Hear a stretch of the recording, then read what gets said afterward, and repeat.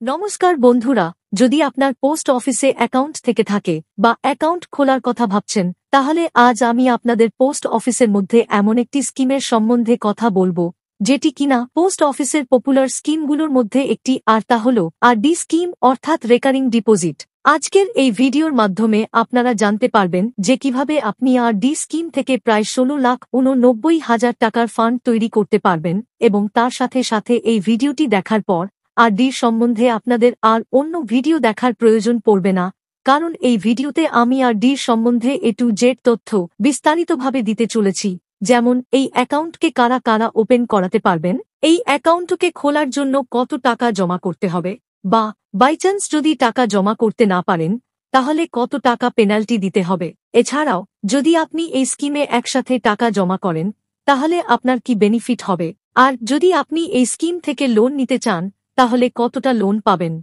বা, যদি আপনি মাঝপথে অ্যাকাউন্টকে বন্ধ করতে চান, তাহলে কি কন্ডিশন রয়েছে? এবং এর সাথে সাথে কিছু গুরুত্বপূর্ণ প্রশ্ন উত্তরও জেনে নেব, এমনই আরও অনেক গুরুত্বপূর্ণ পয়েন্টসের সম্বন্ধে আলোচনা করব, এবং তার সাথে এটাও জেনে নেব যে আর ডি স্কিমে কত টাকা জমা করলে কত টাকার ম্যাচুরিটি অ্যামাউন্ট পাওয়া যাবে। তাই আজকের ভিডিওটি খুব গুরুত্বপূর্ণ হতে চলেছে।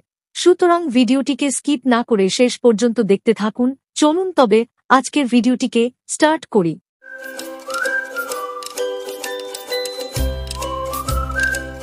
সবার প্রথমে দেখে নেই যে কারা কারা এই অ্যাকাউন্ট খুলতে পারবেন। পোস্ট অফিসের আর ডি অ্যাকাউন্টকে ভারতের যে কোনো ব্যক্তি ওপেন করাতে পারেন, এছাড়াও কোনো একজন ব্যক্তি সিঙ্গেল অ্যাকাউন্টও ওপেন করতে পারেন, আবার দুইজন ব্যক্তি বা তিনজন ব্যক্তি একসাথে মিলে জয়েন্ট এ অথবা জয়েন্ট বি অ্যাকাউন্ট ওপেন করাতে পারেন। এছাড়াও, যে কেউ দশ বছরের শিশু, সে ছেলেই হোক বা মেয়ে, সে নিজের নামে এই অ্যাকাউন্টকে ওপেন করাতে পারে এবং যদি কোনো আনসাউন্ড মাইন্ড পার্সনের নামে অ্যাকাউন্ট খুলতে চাইলে গার্জেনের বিহাফে ওপেন করাতে পারেন। চলুন এইবার জেনে নেই, পোস্ট অফিসের আর ডি অ্যাকাউন্টে কত টাকা দিয়ে বা কীভাবে খোলানো যেতে পারে। পোস্ট অফিসে অ্যাকাউন্ট খোলার জন্য আপনি ক্যাশ বা চেকের সাহায্যে অ্যাকাউন্ট খুলতে পারেন। তবে, যদি আপনি চেক দেন, তাহলে চেক যেই ডেটে ক্লিয়ার হবে, সেই ডেটকে অ্যাকাউন্ট খোলার ডেট হিসাবে ধরা হবে। এছাড়াও, এই স্কিমে আপনাকে মিনিমাম একশো টাকা জমা করতে হবে এবং দশ টাকার মাল্টিপিলে আপনি যত খুশি টাকা জমা করতে পারেন। কিন্তু, যদি আপনি এই টাকার অ্যামাউন্টকে একবার ফিক্সড করে দেন, অর্থাৎ ধরে নিন, আপনি প্রত্যেক মাসে পাঁচশো টাকা করে জমা করবেন বলে ঠিক করেছেন তাহলে প্রত্যেক মাসে আপনাকে পাঁচশো টাকাই জমা করতে হবে। মনে রাখবেন, যদি আপনার অ্যাকাউন্ট পনেরো তারিখের আগে খোলা হয়ে থাকে, তাহলে আপনাকে পনেরো তারিখের আগেই টাকা জমা করতে হবে। আর যদি আপনার অ্যাকাউন্ট পনেরো তারিখের পর এবং মাসের শেষ তারিখের মাঝে খোলা হয়ে থাকে, তাহলে আপনাকে পনেরো তারিখ থেকে মাসের শেষ দিনের মধ্যে টাকা জমা করতে হবে। চলুন এইবার আমরা জেনে নেই আর ডি অ্যাকাউন্টের যে প্রত্যেক মাসের কিস্তি তা যদি একসাথে জমা করিয়ে দেন, তাহলে সেক্ষেত্রে আপনার কি কি বেনিফিটস হবে? দেখুন আর ডি অ্যাকাউন্ট পাঁচ বছরের হয়ে থাকে, তো আপনি চাইলে আর ডির কিস্তির টাকা একসাথে জমা করতে পারেন বা তার থেকেও কম জমা করতে পারেন, এটা আপনার মর্জি। এটাকে আমরা একটা উদাহরণের সাহায্যে বোঝার চেষ্টা করি। ধরুন, আপনি ছয় মাসের কিস্তির টাকাকে একসাথে জমা করেছেন এবং প্রত্যেক মাসে একশো টাকা করে জমা করছেন তাহলে এক্ষেত্রে আপনি দশ টাকার ছাড় পাবেন, আর যদি আপনি এক বছরের কিস্তি একসাথে জমা করেন এবং প্রত্যেক মাসে যে একশো টাকার কিস্তি রয়েছে তা যদি দিতে থাকেন, তাহলে সেক্ষেত্রে আপনার চল্লিশ টাকার ফায়দা হবে। আর পোস্ট অফিসের এই যে অ্যাডভান্স পেমেন্ট, তা আপনি পাঁচ বছরের আগে যে কোনো সময়ে জমা করতে পারেন, এমনটা নয় যে আপনাকে এক মাসের পর বা ছয় মাসের পর জমা করতে হবে। আপনার কাছে যখনই টাকা থাকবে, তখনই জমা করতে পারেন। চলুন এইবার আমরা এর লোনের সম্পর্কে জেনে নেই যে এই অ্যাকাউন্ট থেকে লোন পাবেন কিনা যদি পান, তা কতটা পাবেন এবং কিভাবেই বা পাবেন? যদি আপনি আর ডি অ্যাকাউন্ট থেকে লোন নিতে চান, তাহলে আপনাকে মিনিমাম বারোটি কিস্তির টাকা জমা করতে হবে, তারপরেই আপনি লোন পেতে পারেন। দ্বিতীয়ত, যখন আপনি লোন নিতে চাইবেন, সেই সময় আপনার অ্যাকাউন্টে যত টাকা থাকবে, তার ফিফটি পার্সেন্ট আপনি লোন পেয়ে যাবেন কিন্তু ওই যে লোন তার জন্য টু পার্সেন্টেজের এক্সট্রা ইন্টারেস্ট আপনাকে দিতে হবে। যেমন ধরুন, এখন আর ডির ইন্টারেস্ট রেট চলছে সিক্স পয়েন্ট ফাইভ পার্সেন্টেজ তাহলে আপনি এইট পয়েন্ট ফাইভ পার্সেন্টেজের হিসাবে লোন পাবেন, আর ওই লোনের টাকা আপনি একসাথে জমা করতে পারেন, বা প্রত্যেক মাসে জমা করতে পারেন। আর যদি বাইচান্স ওই লোনের টাকা দিতে না পারেন, তাহলে আপনার অ্যাকাউন্ট যখন ক্লোজ হবে, তখন ওই সময়ে সুদের সাথে আপনার অ্যাকাউন্ট থেকে টাকা কেটে নেওয়া হবে এবং বাকি টাকা আপনাকে ফেরত দিয়ে দেওয়া হবে। এখন জেনে নেই, যদি অ্যাকাউন্টকে মাঝপথে ক্লোজ করাতে চান, তাহলে সেক্ষেত্রে কি কি কন্ডিশন রয়েছে? দেখুন, পোস্ট অফিসের আরডি অ্যাকাউন্টকে তিন বছরের পরই প্রিম্যাচুয়ার্ড ক্লোজ করানো যেতে পারে, আর যখনই আপনি এই অ্যাকাউন্টকে ক্লোজ করবেন, তখন এই অ্যাকাউন্ট যবে থেকে শুরু হয়েছে। তবে থেকে, যেই দিনে ক্লোজ করছেন, সেই ডেট পর্যন্ত আপনি সেভিং অ্যাকাউন্টের ইন্টারেস্ট রেটই পাবেন, অর্থাৎ ফোর পার্সেন্টেজের ইন্টারেস্ট রেটই পাবেন। আর যদি আপনি অ্যাডভান্স পেমেন্ট করে থাকেন, তাহলে সেক্ষেত্রে আপনি যত মাসের জন্য অ্যাডভান্স পেমেন্ট করে রেখেছেন, তার আগে এই অ্যাকাউন্টকে প্রিম্যাচুয়ার্ড করাতে পারবেন না। ধরুন, আপনি ছয় মাসের অ্যাডভান্স পেমেন্ট করে রেখেছেন, তাহলে ছয় মাসের পরেই আপনার অ্যাকাউন্ট প্রিম্যাচুয়ার্ড হতে পারে। নেক্সট, এখন আমরা জেনে নেই যে এই অ্যাকাউন্টের ম্যাচুরিটি কি রয়েছে, এবং তার সাথে সাথে এটাও দেখে নেই যে যদি আপনি এই অ্যাকাউন্টকে এক্সটেন্ড করাতে চান, তাহলে কি কি বেনিফিটস পাবেন? যেমনটা আমি একটু আগেই বলেছিলাম যে এই স্কিমের ম্যাচুরিটি পিরিয়ড পাঁচ বছরের, কিন্তু যদি আপনি এই অ্যাকাউন্টকে এক্সটেন্ড করাতে চান, তাহলে তা আপনি করাতে পারেন, আর সেটা আপনি দুইভাবে করাতে পারেন। প্রথমটি হল, আপনি প্রতি মাসে যেইভাবে টাকা জমা করিয়ে এসেছিলেন, তেমনিই আপনি প্রত্যেক মাসে টাকা জমা করাতে থাকবেন।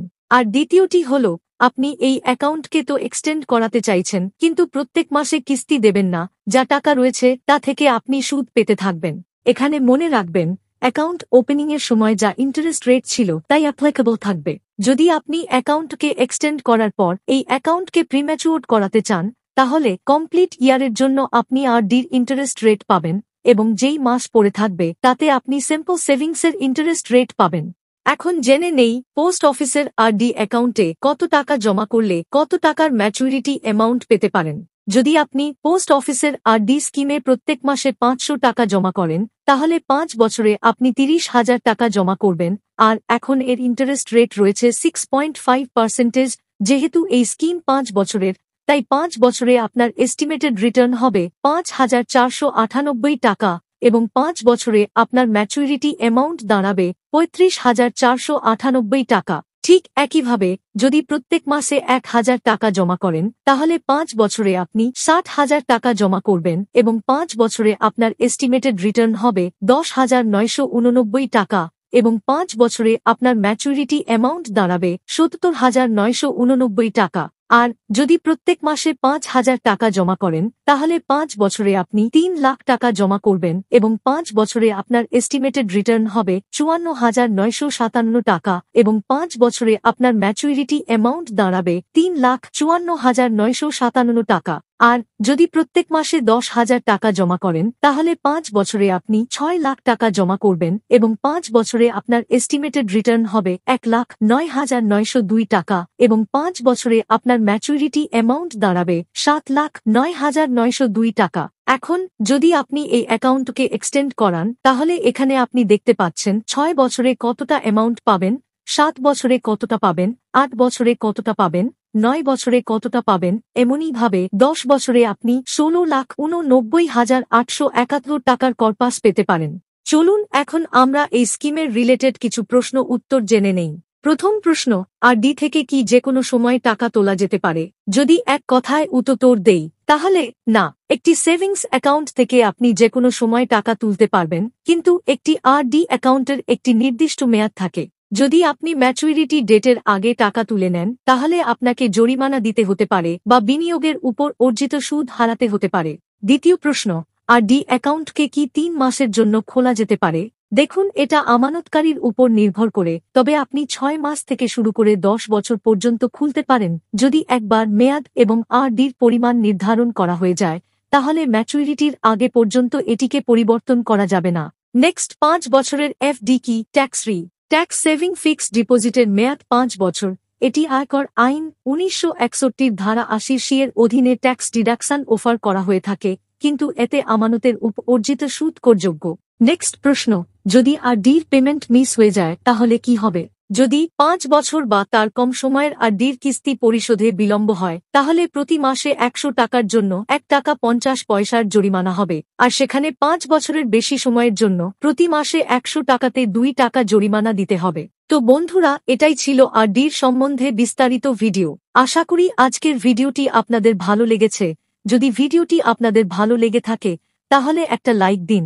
এবং যদি আপনি এখনও পর্যন্ত চ্যানেলটিকে সাবস্ক্রাইব করে না থাকেন, তাহলে এখনই চ্যানেলটিকে সাবস্ক্রাইব করে পাশে থাকা বেল আইকনে প্রেস করে নোটিফিকেশনকে অল করে রাখুন, যাতে পরবর্তী ভিডিওর নোটিফিকেশন সবার প্রথমে পেতে পারেন। আজ তবে এই পর্যন্তই। আপনাদের সাথে দেখা হচ্ছে নেক্সট ভিডিওতে। ভিডিওটি সম্পূর্ণ দেখার জন্য ধন্যবাদ।